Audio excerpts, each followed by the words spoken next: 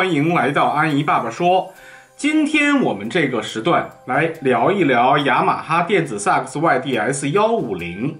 那么，如果看过之前我发布节目的各位，应该记得在去年，也就是二零二零年的十月，我在上海乐展的现场去实地的测试了 YDS 幺五零，并且给出了一些建议。呃，如果没看过的，大家可以去看之前发布的内容。那么今天这期将会看到我把 YDS 幺五零的乐器进行一个简单的开箱。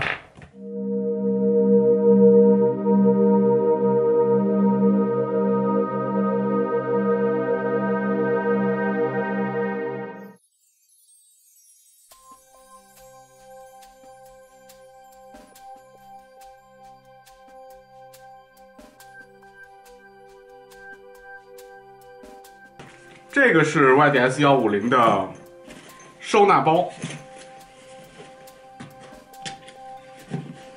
之前我们在其他国家用户的开箱里看到过，是这样打开的，然后里面是应该有一个拉链，对，在这儿。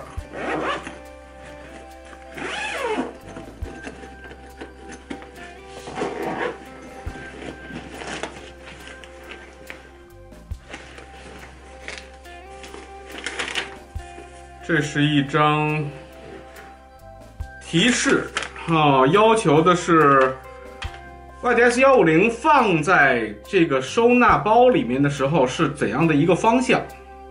它要求的是耳机孔的正面朝上，否则有可能损坏按键。这是怕，嗯，长期的放在这里面会压住表面的按键。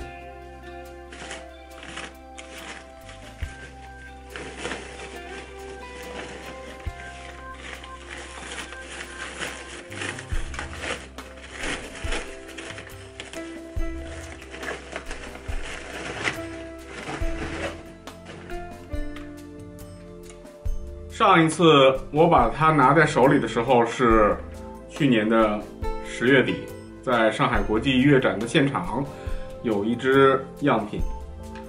那么手感还是之前一样，没有任何的变化。当时试的是一只样品，嗯，现在是正式的量产货。我们可以看到它有出厂的编号，包括出厂的时间。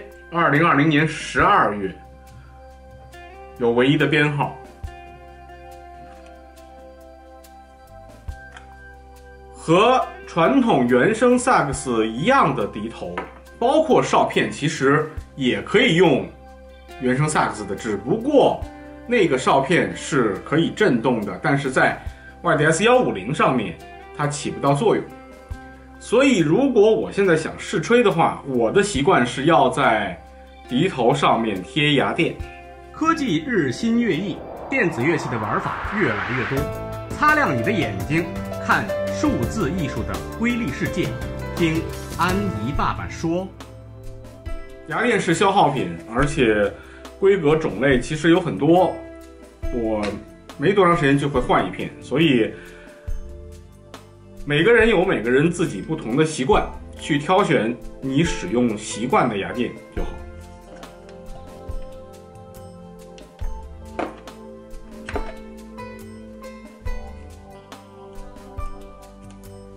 牙垫接下来，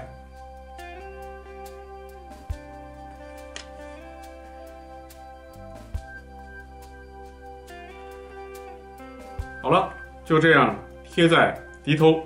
正面，你就可以正常的使用标准的萨克斯口型去演奏了。啊，还需要的是电池，对，电吹管一定要有电池。电池仓我们之前在评测里面是介绍过的，就是这样的一个，它放的是四节七号的电池。那么我现在身边所有的设备，由于都是五号的电池，也就是两 A 的，所以我们现在用充电宝。来代替，因为在官方国外发布的一些评测里面是可以使用充电宝的。一个充电宝，然后这根线就是 micro USB，插在这个供电的位置，我们就可以试一下声音。micro USB 这个接口和现在最快的、最新的接口 Type C 是不一样的，它需要有正反面，所以日后如果有人在插这个口的时候，不要插错。然后我现在已经通上电了，然后我这边的充电宝应该是已经是有电的状态。然后我们找到开关，最上面，嗯，这就已经开开了，所以应该现在就可以吹了。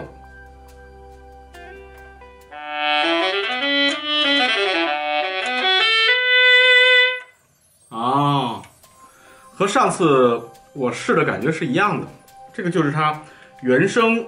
扬声器在这里，然后这儿发声，声音传导到下面这个喇叭口，下面这个地方是有一个排水管的。如果伸进去看的话，这个之前我也发过视频。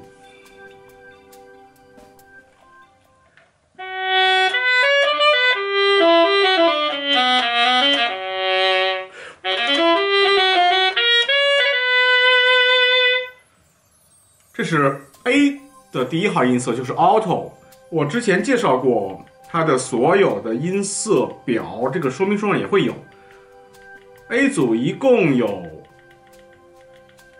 十七支 Auto Sax，然后 S 组是 Soprano，就是高音的。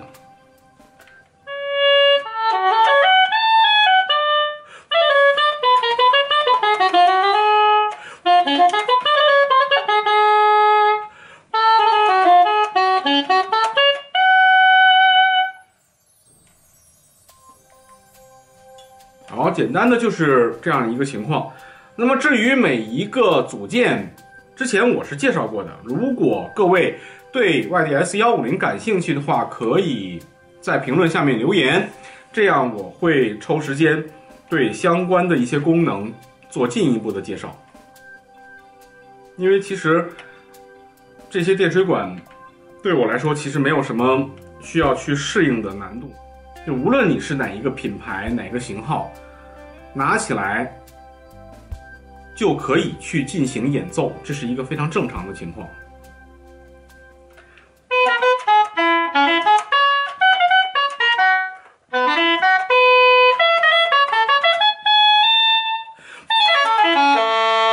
啊，萨克斯指法。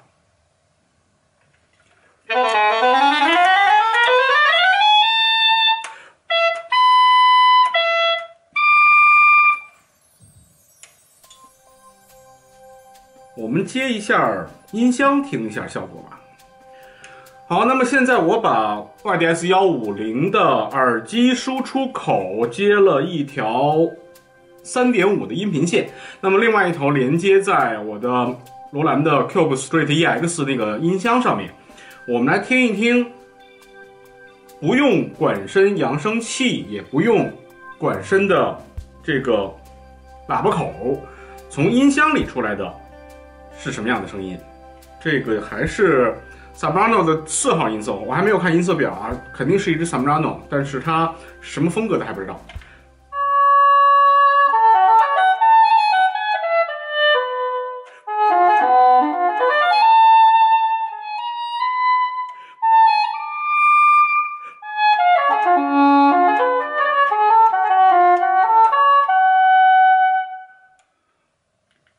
五号的还是萨布拉诺。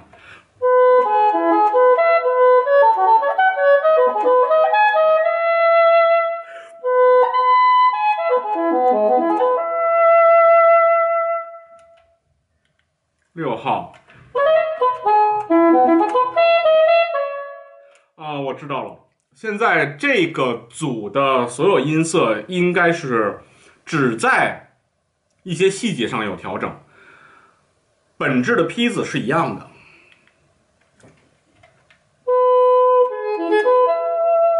对，明白了。